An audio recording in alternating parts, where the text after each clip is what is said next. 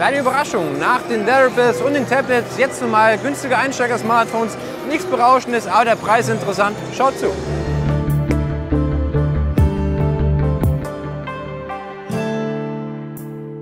Das stärkste der neuen vorgestellten Low-End-Smartphones ist das Huawei Ascend Y635. Verbaut haben wir ein 5 Zoll großes Display mit 854 x 84 Pixeln und einem Qualcomm Snapdragon 410, also schon 64-Bit fähig, dazu noch 1 GB RAM und 8 GB Speicher. Ist also erstmal ja, recht basic ausgestattet, 2000 mAh Akku, aktuell noch Android 4.4 sowie die aktuelle Emotion UI 3.0, also die aktuellste Version der eigenen Oberfläche. Läuft ganz gut, wie ich finde. Ist eben ja, recht günstig ausgestattet, wird auch nur 149 Euro kosten und kommt dann März, April auf den Markt, auch in Deutschland. Kameras beim Y635 schaffen also nur hinten 5 Megapixel und vorn 2 Megapixel. Was ein bisschen verwirrend scheint, denn das nächste kleinere Modell ist das Y625.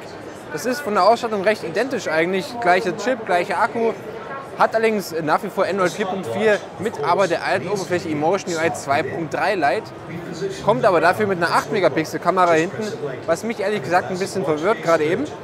Ähm, aber ansonsten haben wir auch hier wieder so eine strukturierte Rückseite und äh, auch nur 4 GB Speicher.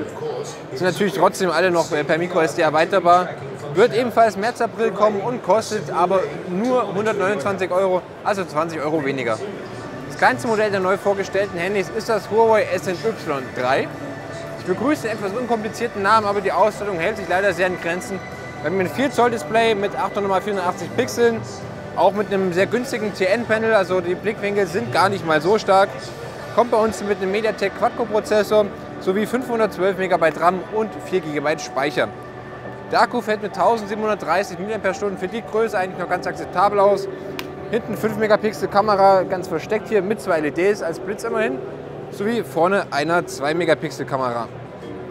Darauf installiert ist Android 4.4, muss auch sein wegen der geringen Performance, sowie wiederum die aktuelle Variante der Emotion UI 3.0 Lite. Die Ausstattung ist natürlich nicht berauschend, aber dafür muss man eben auch den Preis im Auge behalten. Gerade mal 79 Euro soll das gute Stück kosten, kommt auch März, April in den Handel und könnte damit gerade für Einstecker doch sehr interessant werden.